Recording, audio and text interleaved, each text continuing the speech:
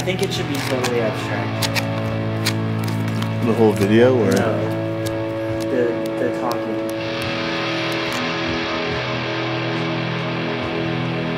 I want it to be about being in San Francisco and falling in love with the city and about having arrived here through so many moments, so many sunny days and wild nights through love and skateboarding and reading books and going to art museums and friendship and shit, plants.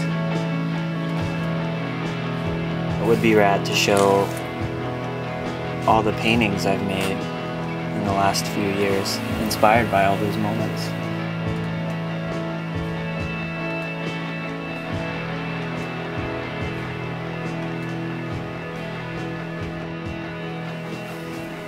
It's really exciting to be at a point where I feel like art is the purpose of my life and life the purpose of my art, you know?